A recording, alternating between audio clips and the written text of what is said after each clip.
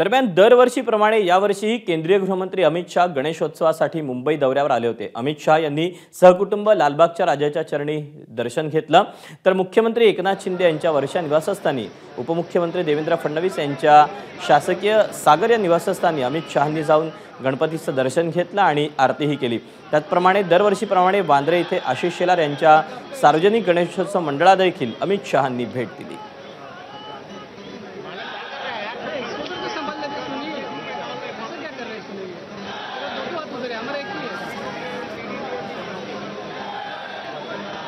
तेव्हा केंद्रीय गृहमंत्री अमित शहा हे मुंबई दौऱ्यावर होते. मुंबई दौऱ्यात त्यांनी लालबागच्या राजाचं सपत्नीक दर्शन घेतलं. त्यानंतर वर्षा निवासस्थानी मुख्यमंत्री एकनाथ शिंदे यांच्या गणपतीचं दर्शन घेतलं. त्यानंतर सागर बंगल्यावर जाऊन देवेंद्र फडणवीसांच्या बाप्पाचं दर्शन घेऊन आरती केली.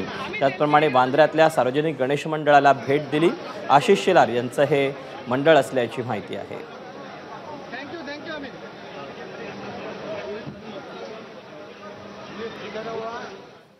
Thank you.